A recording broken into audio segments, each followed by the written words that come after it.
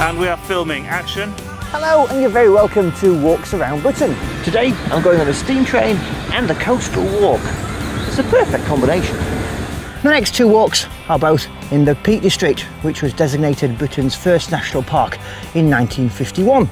Now, millions of people visit the Peak District every year, and these two walks show you just why. And if you want to do that one, you can visit our website, walksaroundbritain.co.uk. There's all the information there. Now, the scale of the model is 575 million 872,239 to 1, meaning that for every 100 metres along the trail, it's actually 57 million kilometres in space. And the house was demolished in 1938.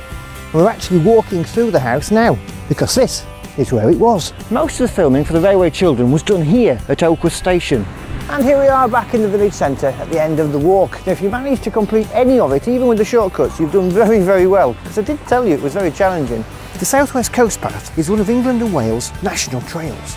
Now, we're big fans of walking alongside canals here at Walks Around Britain. And I've picked two great walks from the series. You've got a coastal view and you come back on a steam train. What could be better? So you've got to remember that these planets are all in scale. So the giant red spot will fit three Earths inside it. Now, some of my favourite walks are on the islands around the British Isles. And the two walks coming up next, well, one's on the Isles of Scilly and the other is on the Isle of Man. Welcome to the edge of Yorkshire. But until next time, thanks for watching and happy walking.